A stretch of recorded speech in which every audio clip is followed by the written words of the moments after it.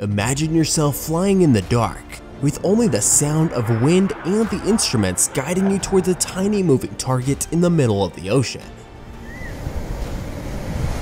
Now, imagine that the target is a massive aircraft carrier, and your job is to land safely on the deck. Sounds impossible, right? The sound of the roaring engines fills the air as you approach the darkness of the open sea.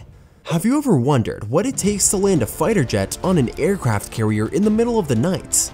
Are you ready for the challenge?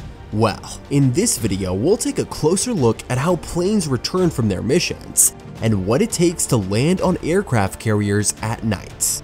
Before we begin, I want you to stay on top in the knowledge game of Navy and aircraft updates. And to do that, just click on subscribe and press the bell icon right now. And I welcome you to the world of Navy.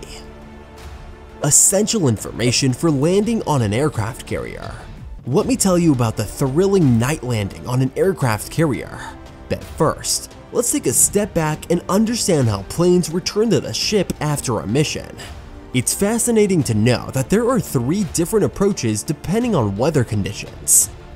Case 1 for good weather and daylight, Case 2 for mediocre weather, and Case 3 for poor weather at night.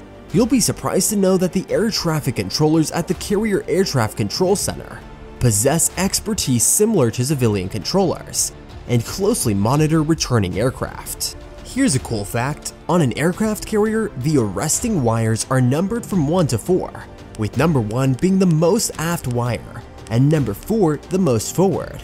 During a landing, pilots set the throttles to full power, without an afterburner, to prepare for a possible bolter, which is when the aircraft misses a wire and gets airborne again.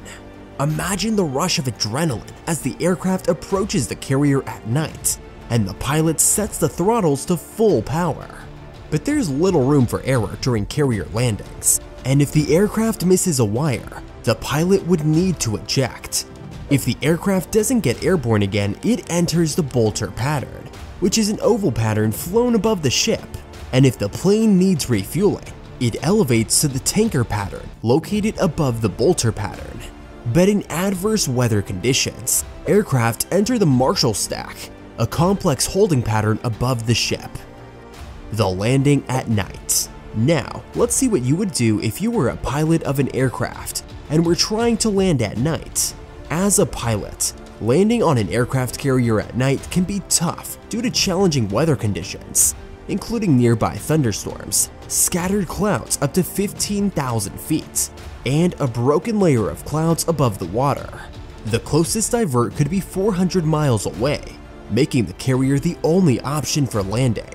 Crossing the push point at 2200, you inform the Carrier Air Traffic Control Center of your fuel state and commence descent from platform altitude 5,000 feet above sea level with a full instrument approach due to poor visibility.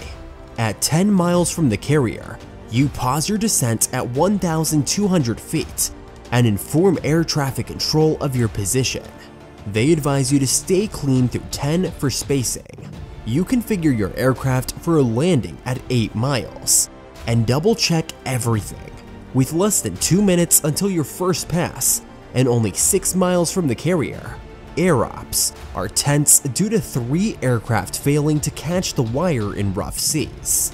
The ship's captain informs air ops that the ship needs to turn slightly to find the relative wind which could cause more landing issues. Finding the appropriate amount of relative wind is crucial in carrier operations, as not having enough wind over the deck can lead to an aircraft being waved off for safety reasons. As you approach, your ILS system picks up the bullseye signal, guiding you to the center line, intercepting the glide slope about 3 quarters of a mile behind the ship at 360 feet above the water and descending at a controlled rate of 650 to 750 feet per minute. The ACLS system helps you get into this position. Timely corrections to the rate of descent are crucial, as the runway is a moving target and ILS only provides one-way communication. During the landing approach, control is handed over to the landing signal officers positioned on the other side of the landing area. Verbal feedback from LSOs is essential due to the pitching deck caused by rough seas, which can be disorienting. After touching down, you notice that the arresting wire did not catch your plane, and with that, you're forced to take off again. Amidst the tense situation on the carrier, caused by rough seas, missed arrestments, and frustrated air wing representatives, the Carrier Air Traffic Control Center provides guidance to repeat the landing process. You carefully follow the procedures and approach the ship again, feeling optimistic that you'll make it this time. With only 20 seconds left, you focus on the landing signal officer's call.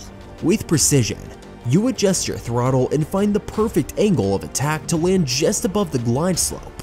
As you approach the ship, you feel the ship rush sensation and see more details. Your aircraft lands on the deck with a thud, and you feel deceleration through your body.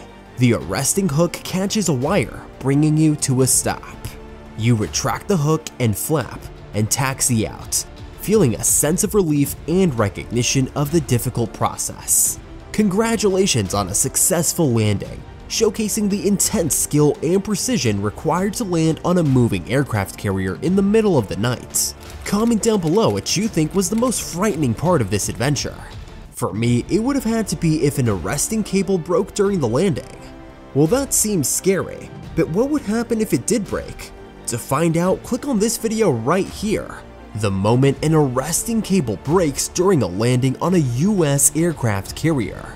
That's all for this video, but make sure to click this one on the screen to find out more about the risk of an arresting cable failure. So what are you doing? Click it now.